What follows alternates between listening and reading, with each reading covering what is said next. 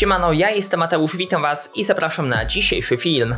Argentyna wypunktowała Chorwację, kolejny rekord Leo Messiego, piękna bramka Alvareza, owacje na stojąco dla Luki Modricza i wielka koszulka Messiego, która latała po argentyńskim niebie. Jest kolejny kandydat do poprowadzenia naszej reprezentacji. Piłkarz BVB prawie został wyrzucony z mundialu. Bartosz Bereszyński wzbudza coraz to większe zainteresowanie. Ronaldo być może wystąpi na Euro 2024, a Portugalia chce zwolnić Fernando Santosa. Być może zastąpi go Jose Mourinho. Dajcie na dole w komentarzu znać, komu kibicowaliście i kto waszym zdaniem w tym meczu zagrał najlepiej. Pamiętajcie o tym, że możecie ocenić ten film, będzie mi bardzo miło i zapraszam do oglądania. Sponsorem kanału jest Betfan. Z kodem Landry600 otrzymacie bonus nawet do 200%. Szczegóły w opisie. Argentyna zagra w finale mundialu, a Chorwacja powalczy w meczu o trzecią pozycję. Wczorajszy półfinał zakończył się wygraną Argentyny 3 do 0. Statystyki całego spotkania pokazują, że to Argentyna dominowała na boisku i pokazała się z lepszej strony. Bohater Chorwatów Liwakowicz z meczu z Brazylią w półfinałowym pojedynku zawinił i sprokurował jedenastkę. Daniele Orsato się nie zastanawiał i wskazał na wapno. Do wykonania tego stałego fragmentu gry podszedł Leo Messi i pewnie pokonał bramkarza Dinama Zagrzeb. Co prawda on wyczuł jego uderzenie ale było naprawdę mocne. W każdym razie było to także już piąte trafienie Leo Messiego na tym mundialu i trzecia bramka zdobyta po rzucie karnym. Został także najlepszym strzelcem w historii Argentyny na Mistrzostwach Świata. Trafiał już 11 razy. Co więcej, to stał się także najstarszym piłkarzem na mundialu, który zdobył 5 goli. Nim zakończyła się pierwsza połowa, Argentyna prowadziła 2 do 0. Przeprowadzili kontrę, a w zasadzie to Alvarez, który zabrał piłkę na połowie Chorwatów, przebiegł praktycznie całe boisko i umieścił piłkę w siatce. Faktem jest, że defensywa europejskiej ekipy się pogubiła, ale wielki szacun dla tego młodego chłopaka za to, co zrobił. Na trybunach obecny był Ronaldinho, który widząc akcję młodego Argentyńczyka, aż zaczął bić brawo. Alvarez w tym meczu dorzucił jeszcze jedno trafienie po zmianie stron. Leo Messi zakręcił defensywą rywali, podał do młodszego kolegi, a on dokończył dzieła. Atmosfera na trybunach była naprawdę gorąca. Tak Argentyńczycy dopingowali swoich piłkarzy. Pod koniec drugiej części meczu trener zdecydował się na zmianę Luki Modricza. Najpewniej była ona podyktowana uhonorowaniem jego wspaniałej kariery. Chorwat dostał owację na stojąco. Przed meczem nad miejscowością w Argentynie, z której to pochodzi Leo Messi, latał śmigłowiec, który miał przyczepioną wielką koszulkę Leo Messiego w narodowych barwach. Widać ile on znaczy dla lokalnej społeczności, jak i całej Argentyny. Natomiast tak cieszyli się mieszkańcy Rosario, gdy Leo Messi umieszczał futbolówkę w siatce.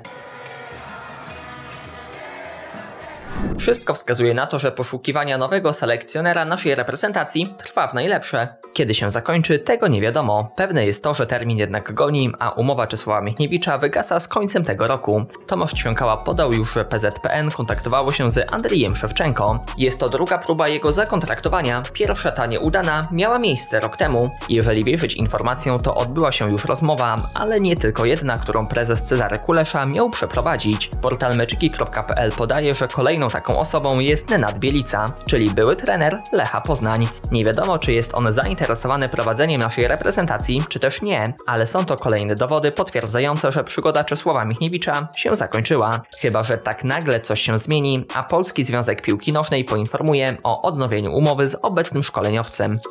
Atmosfera w drużynie, czy to narodowej, czy w klubie, jest bardzo ważna. Mogą być umiejętności, godziny odbytych treningów, ale dobre samopoczucie także jest bardzo ważne. O tym nie wiedział chyba Giovanni Reina, który o mały włos nie został odesłany z mundialu do domu.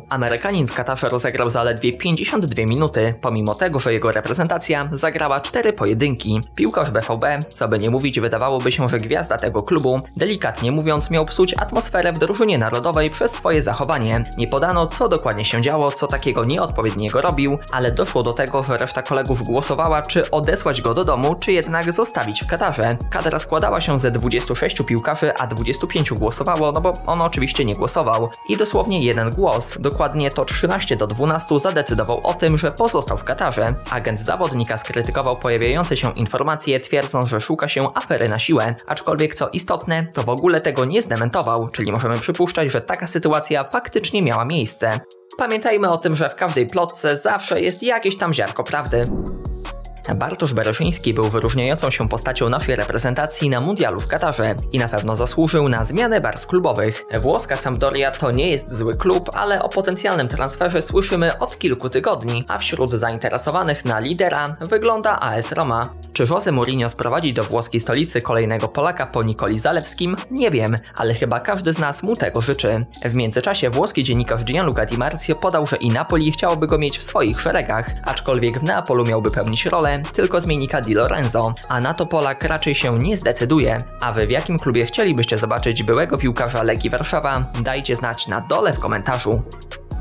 Dramatyczne sceny, które widzieliśmy po meczu Maroko-Portugalia, przejdą do historii tego pięknego sportu. Cristiano Ronaldo, opuszczający plac gry we łzach, kończy prawdopodobnie swój ostatni mundial w karierze. Wielu spekulowało, że po tej porażce będzie to już jego koniec, a on zrezygnuje albo z występowania dla swojego kraju, albo także powie dość i ogólnie zakończy karierę. Coraz więcej wskazuje jednak na to, że tak się nie stanie, a Portugalczyk będzie grał dalej i ma w planach wyjazd na Euro 2024. Takie informacje pod podaje portugalska prasa. Z jednej strony po tym co widzieliśmy to zaskakujące, no ale z drugiej to kto miałby się poddać, gdyż CR7 nie wygląda na takiego, który odpuszcza, tylko walczy do samego końca. Najstarszy zdobywca bramki na mundialu miał 42 lata, Portugalczyk w tym momencie ma 37, więc sky is the limit Cristiano. Baw się i pisz historię. Nie tylko w reprezentacji Brazylii czy Hiszpanii doszło do zmiany trenera. Na ten temat debatuje się w naszym kraju, ale także i w Portugalii. Porażka z Maroko na pewno jest wielkim niedosytem i sprawiła, że narodziły się pomysły zwolnienia Fernando Santosa. Do tego wprost nawoływała siostra Cristiano Ronaldo, a także jego partnerka opublikowała na Instagramie story uderzające bardzo mocno w samego selekcjonera. Najnowsze informacje są takie, że nie tylko one tak uważają, ale i portugalski Związek Piłki Nożnej. Media już podają, że władze związku na poważnie myślą o zwolnieniu Fernando Santosa i jego sztabu szkoleniowego, ale to może kosztować nawet 7 milionów euro. A jak na Portugalię i ogólnie trenera drużyny narodowej, to naprawdę nie mała kwota.